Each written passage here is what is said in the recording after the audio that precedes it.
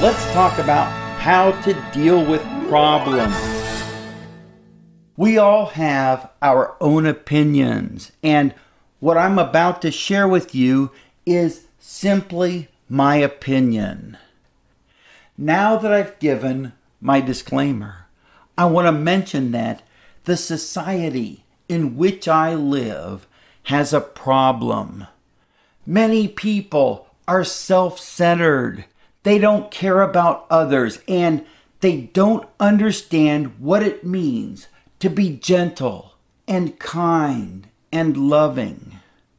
I was reading chapter 3 of the book of Jonah, and the king decreed that the people should call earnestly on God and turn from their wicked ways and from the violence that was in their hands. The phrase violence that was in their hands sort of jumped out at me, and the picture that came to my mind as to how this might apply today was the violent video games that some people play.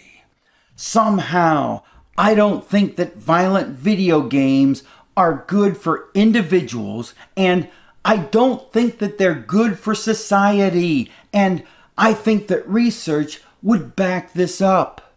But I don't think that anyone is willing to do anything about it. I think Henry Ford was right when he said that most people spend more time and energy going around problems than trying to solve them. But I hope that you're different. I hope that you're the type of person who identifies problems and then tries to solve them because this is what winners do. And you are a winner.